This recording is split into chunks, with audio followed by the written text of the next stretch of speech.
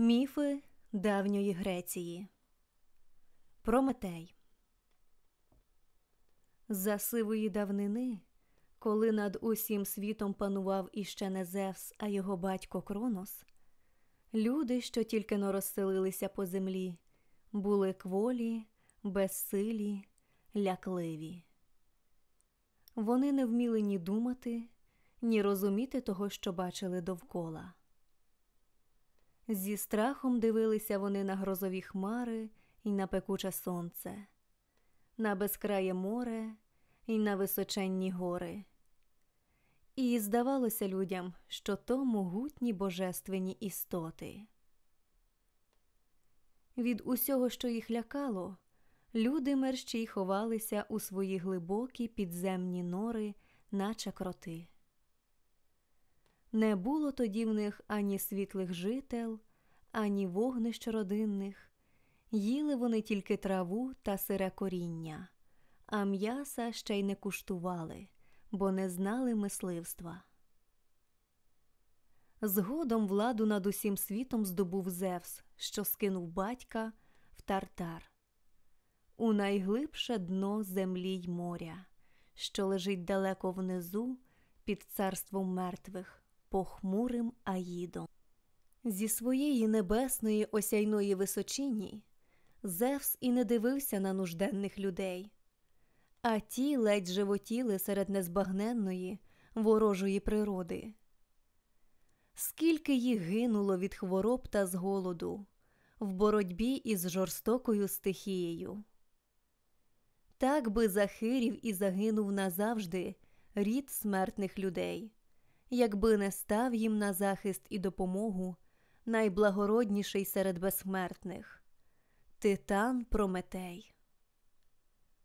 Матір'ю його була велика Феміда, богиня справедливості й правосуддя, а батько Япет належав до роду могутніх титанів, що їх здолав Зевс і скинув навіки у тартар.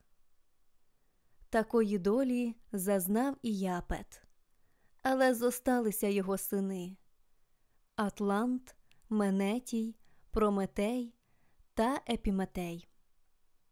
Двох перших Зевс теж покарав за сміливу спробу змагатися з ним. У Менетія поцілив вогненною блискавкою, і той упав просто в тартар, а величезному Атлантові надумав іншу кару підтримувати все небесне склепіння. Відтоді стоїть Атлант величезний, наче гора, і наче гора непорушний. Усе дуже м'язисте його тіло напружилося і скам'яніло.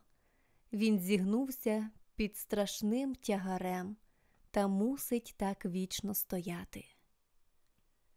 Найменший Япетів син простодушний епіметей не був небезпечний Зевсові, а розумний і безстрашний Прометей сам став на бік Зевса.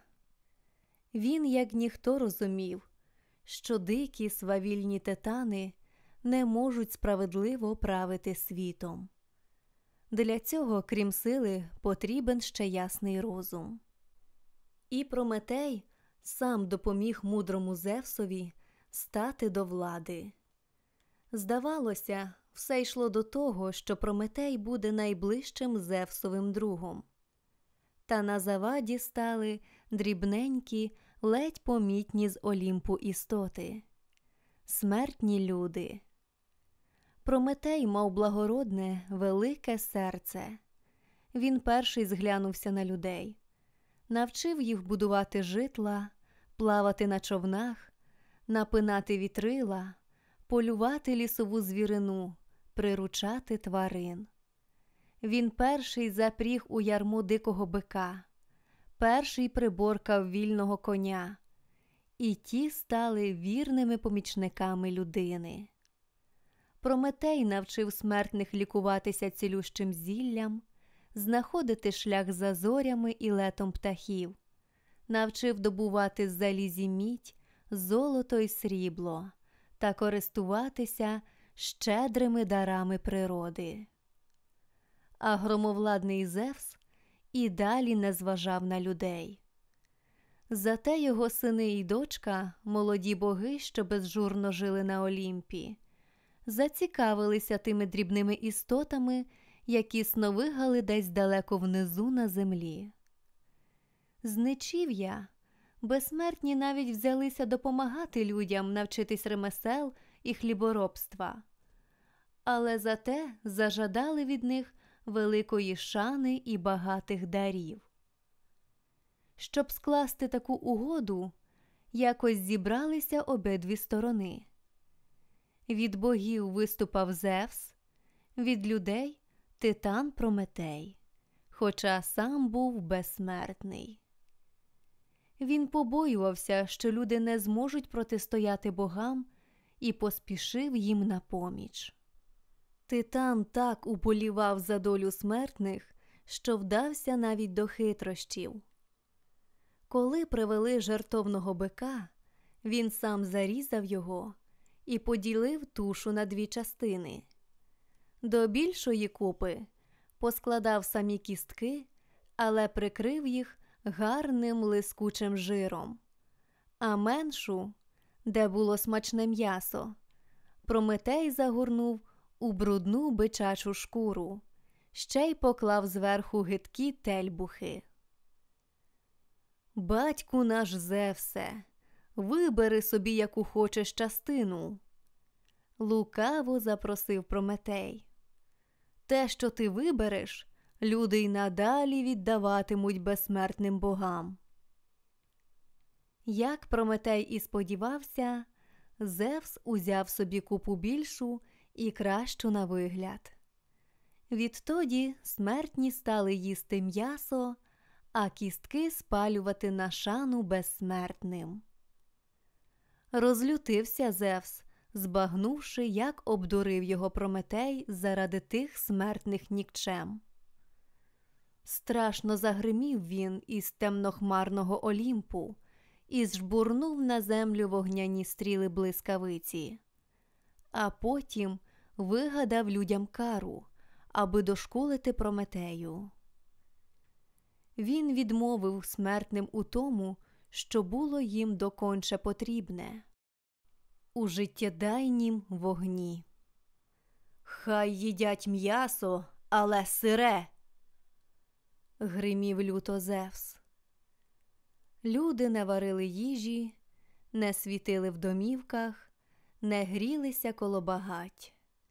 І було те життя без вогню злиденним животінням. Пожалів людей своїм великим серцем титан Прометей і сміливо порушив Зевсову заборону. Якось він перестрів Афіну Паладу, любу Зевсову дочку. Богиня мудрості була завжди прихильна до титана, тож він і попросив її відчинити йому потай двері чорного ходу, що вів до Зевсового палацу. Адже Прометею було вже невільно з'являтися на Олімпі. Афіна Палада так і зробила, гадаючи, що Прометеєві цікаво поглянути на новий витвір мистецтва бога митця Гефеста, на людей із щирого золота, що, наче живі, слугували богам. А Прометей, опинившись у Зевсовій оселі, мерщій узяв із божественного вогнища невеличку іскру, сховав її у порожній очеретині та й приніс людям на землю. Відтоді засяяли, заяскріли веселі вогнища на землі. Навколо них люди збиралися цілими родинами, смажили м'ясо, грілися, танцювали. Люди зажили тепер веселіше, дружніше, і з того щиро радів титан Прометей. Він навчив їх приборкувати вогонь, плавити мідь, кувати зброю, і люди стали дужчі, сміливіші. Вони вже не схилялися покірно перед своєю долею.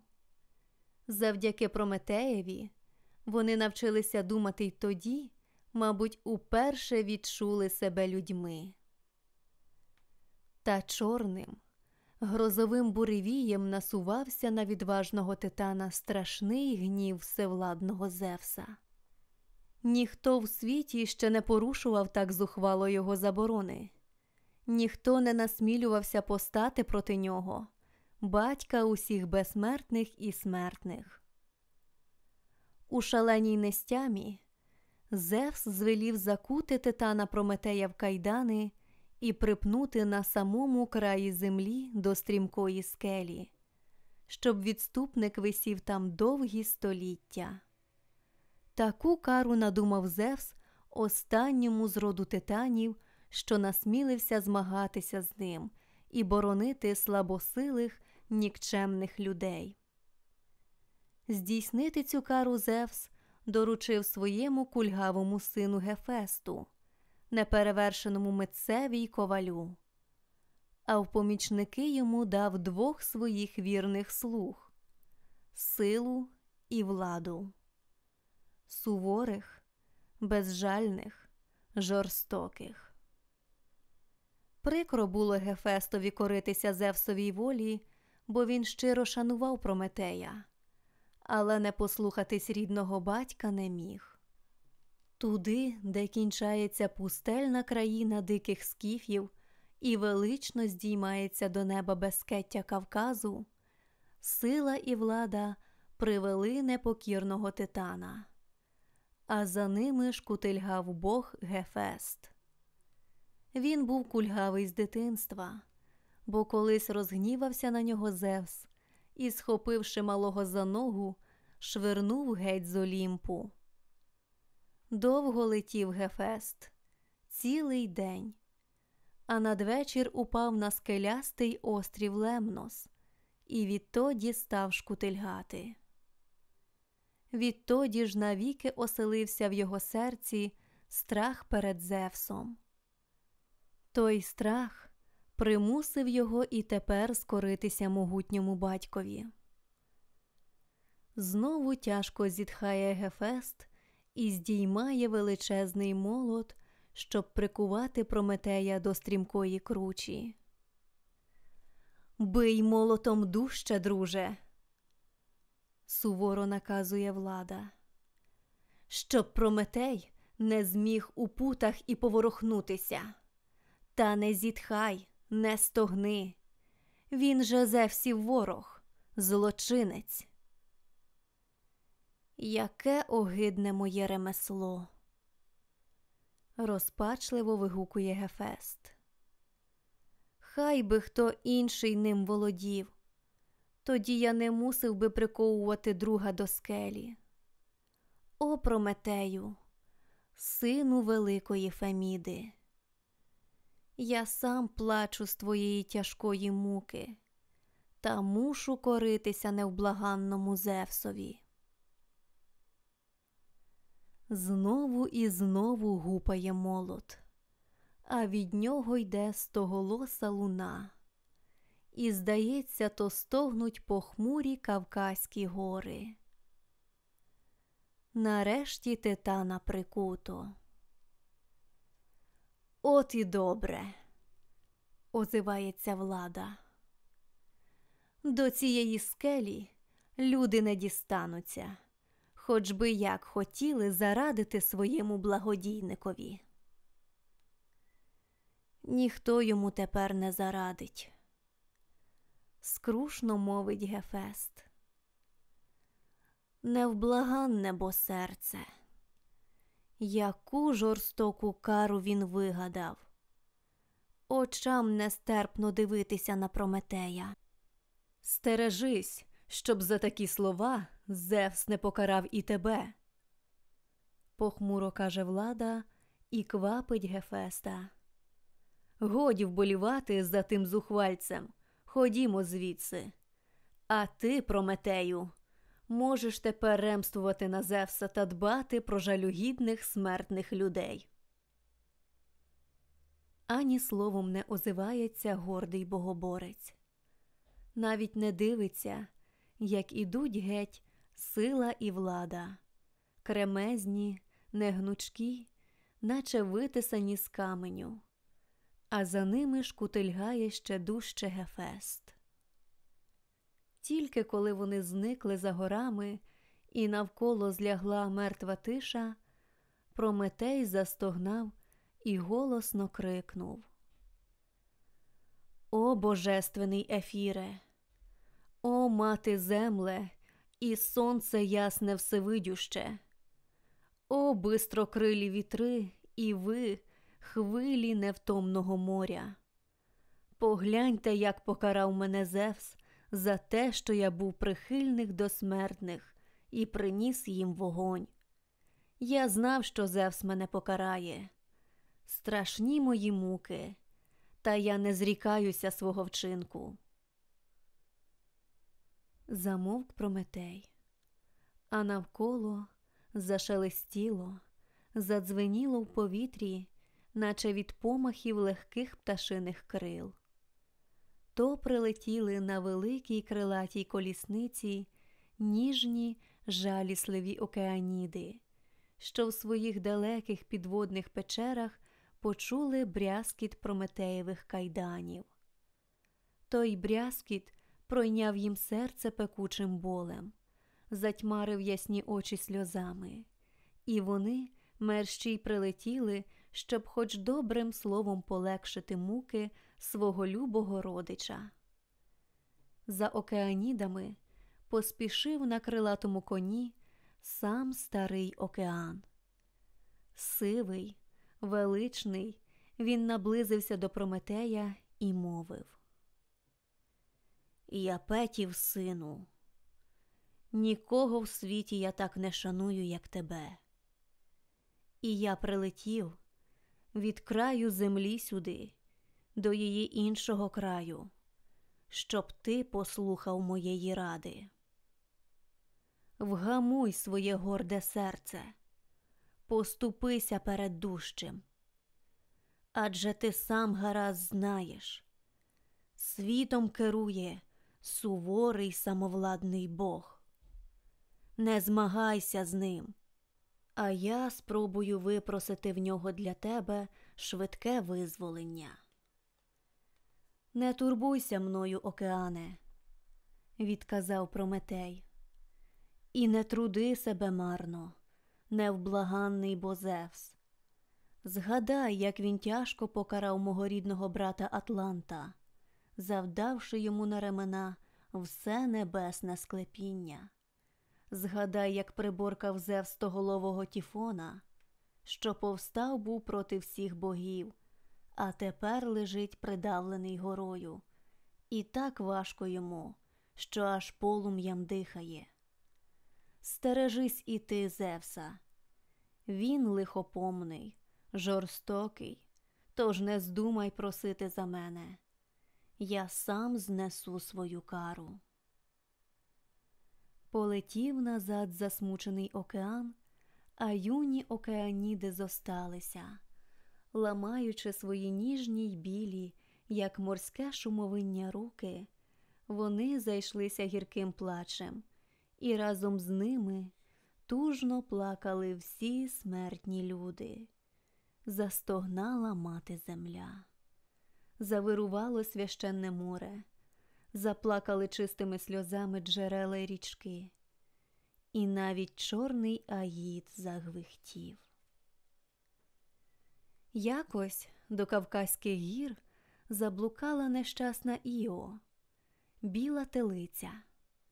Колись вона була смертна дівчина, аргорська царівна, така гарна, що в неї закохався сам Зевс.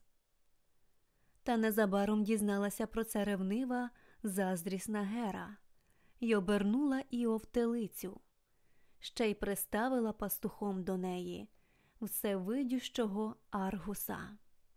Це чудовисько мало очей по всьому тілу стільки, скільки сяє зірок на нічному небі. Навіть коли Аргус засинав, ті очі ніколи не заплющувалися всі одразу. Тож він стеріг бідолашну телицю і вдень, і вночі. А за це заплатив життям. За наказом Зевса Гермес відтяв Аргусові голову. Тоді розгнівана Гера наслала на Іо великого гедзя, і той нещадно жалив телицю. Тікаючи від гедзя, майже божевільна з болю, Іо опинилася серед Кавказьких гір і нарешті добігла до скелі, де було прикуто Прометея. Хоч титан сам тяжко страждав, та його схвилювала доля нещасної дівчини, що стала жертвою жорстоких богів. Він чув про неї ще від своєї матері, віщої Феміди, і знав, що попереду в Іо ще багато поневірянь і мук. О, як ти, бідолашна, стогнеш, співчутливо мовив Прометей. Я нічим не можу тобі допомогти, бо сам я невільний. Але знай, тебе смертну чекає безсмертна слава. Навіть море на згадку про тебе люди назвуть іонічним, а Епаф, твій син від Зевса, започаткує великий рід, що дасть могутніх героїв. Найславетніший з поміж них, твій далекий нащадок Геракл, прийде сюди і нарешті визволить мене. Знай і те, що всемогутній Бог, через якого ми обоє страждаємо, незабаром може втратити свою владу. Зевс утратить владу? Хіба це можливо? Можливо, і він сам квапить той час. А як це станеться? Не можу сказати. А коли? допитувалась Іо. Але Прометей не міг розказати їй великої таємниці, яку знав тільки він сам один. Колись, здобуваючи для смертних руду в довгій глибокій печері, Прометей так утомився, що ліг просто долі спочити й міцно заснув. Прокинувся він серед ночі, скрізь було темно й тихо. Раптом його здивували якісь ледь чутні звуки. Він прислухався і почув тонесенькі старечі голоси, що протягло співали довгу тихомовну пісню про майбутнє людей і богів. То співали Мойри, богині невблаганної долі. Ось тоді Прометей і дізнався, що Зевса чекає загибель, бо він схоче взяти за дружину богиню Фетіду, найвродливішу з дочок морського бога Нерея. А синові Фетіди судилося стати дужчим за батька, хоч би хто він був, чи смертний герой, а чи безсмертний бог. Тож Зевса чекає та сама доля, якої через нього колись зазнав його рідний батько Кронос, і справдиться тоді батькове лиховісне прокляття. Прометей не міг розповісти це Іо. Він тільки запевнив нещасну, що Зевсова влада не вічна, але бідна телиця вже нічого не чула. Знову налетів на неї гець, люто вжалив, і вона, наче божевільна, побігла світ за очі. Ще довго здаля долинали її болісні зойки і терзали титанові серце. Хай Зевс безжурно живе на Олімпі, гнівно вигукнув Прометей.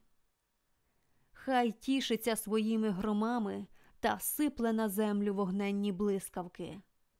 Але настане день, коли справдиться прокляття його батька Кроноса.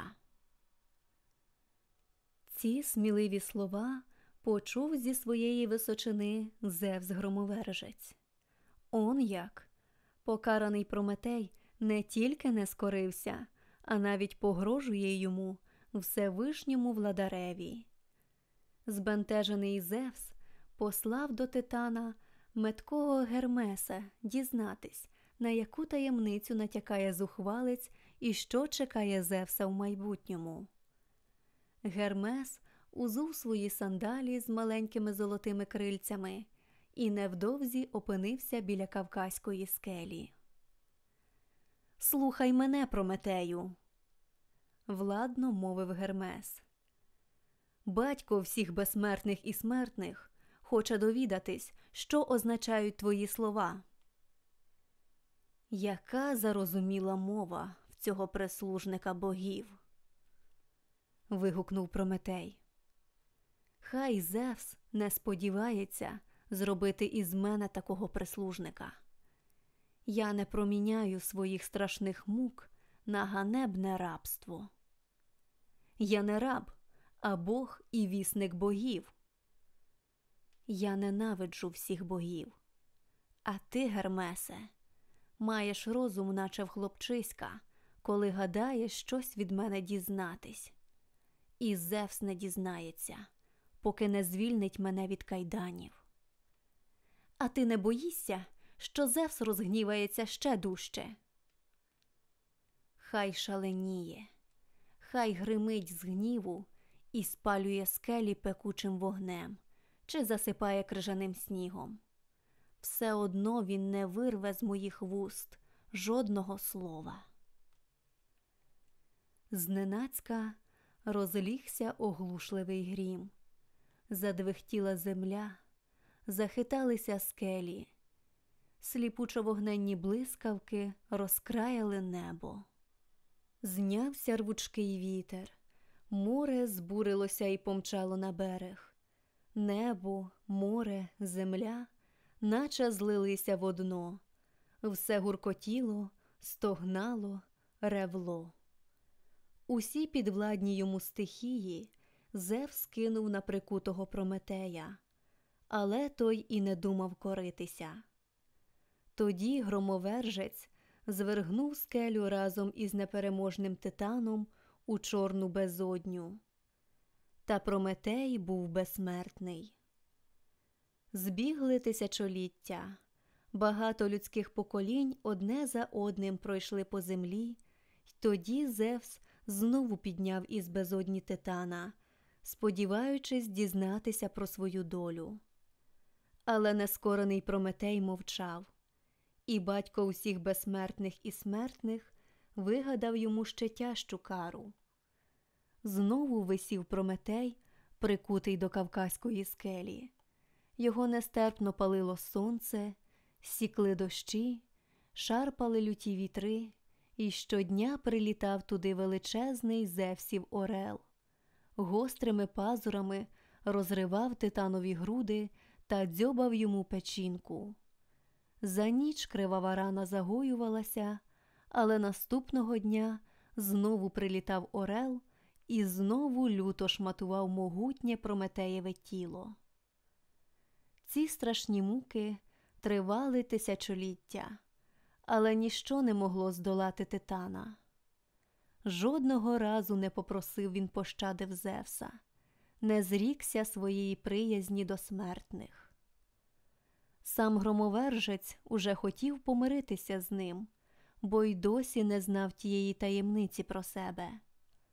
Із Зевсової волі пішла до свого сина богиня Феміда.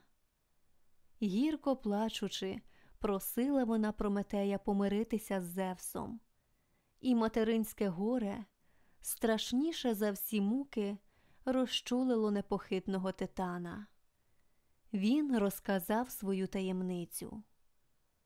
Почувши віщі слова, схаменувся Зевс, бо справді намірявся взяти морську богиню Фетіду собі за дружину. Тепер він звелів якнайшвидше віддати Фетіду за смертного, щоб її син не став загрозою ні йому, ні іншим безсмертним богам. Незабаром Фетіду віддали за Пелея, славного аргонавта. Разом з іншими героями він їздив до Колхіди по золоте руно. На весілля Пелея і Фетіди зійшлися всі боги і навіть вони не пригадували такого пишного свята.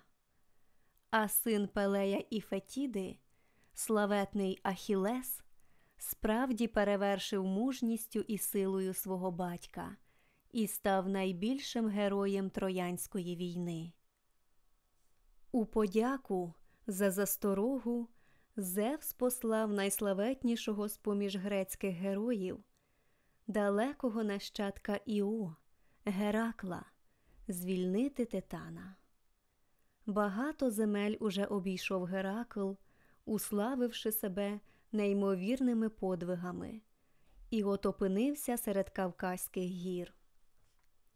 Довго шукав він скелю із прикутим Прометеєм, аж нарешті побачив, як угорі шугонув величезний орел, почув стогони нелюдського болю і поспішив на ті стражденні зойки.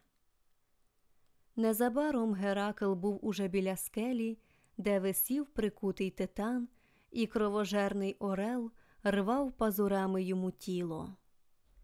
Підняв Геракл свій чималий лук і щосили напнув тятиву. Дзвінко заспівала стріла, вп'ялася в орла, і той упав мертвий додолу. Тоді Геракл виліз на скелю і дужими руками розірвав Прометеєві кайдани. Титан нарешті випростав могутнє тіло і відітхнув на всі груди. Тільки одне залізне кільце зосталося на руці в Прометея, і в ньому застряг камінчик із скелі. Прометей став вільний, а смертні люди, заради яких він прийняв страшні муки, носять відтоді на згадку про нього металеві каблучки і перстні з коштовними камінцями. Так каже легенда, але чи це правда, ніхто не знає. Однак знають усі в тих безстрашних, волелюбних людей, що віддають свої сили і розум, усе життя на благо народові, палає в серцях іскра незгасанного Прометеєвого вогню. А сам Прометей оживає знову і знову в найкращих творах мистецтва. Так, завдяки смертним людям, став справді безсмертний тираноборець Титан.